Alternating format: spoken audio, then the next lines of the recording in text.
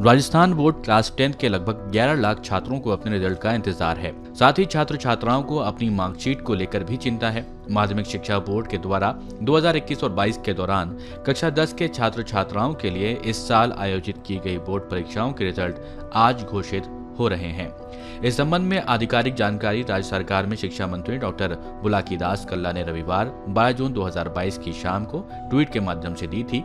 Rajasthan board से दसवीं की परीक्षाओं में सम्मिलित हुए छात्र छात्राएँ औपचारिक ऐलान के बाद अपना आरबीएससी दसवीं रिज़ल्ट 2022 को लेकर Raj result dot N I C dot in पर देख पाएँगे। परीक्षार्थियों को इसके लिए रिज़ल्ट पेज पर विज़िट करने के बाद होम पेज पर एक्टिव किए जाने वाले लिंक पर क्लिक करना होगा। फिर नए पेज पर स्टूडेंट्स को अपना विवरण, जिसमें कि रोल नंबर और जो डिटेल्स आपसे पूछी जाएँगी, वो भरकर सबमिट करना होगा। इसके बाद परीक्षार्थी अपने परिणाम को स्क्रीन पर देख पाएँगे। यहाँ आपको बता दें कि बोर्ड के द्वारा प्रोविजनल मार्कशीट भी जारी की जाएगी। बोर्ड के आधिकारिक वेबसाइट से मार्कशीट जारी की जा सकती है, लेकिन ये ध्यान रहे कि ओरिजिनल मार्कशीट वो नहीं होगी, वो प्रोविजनल मार्कशीट होगी।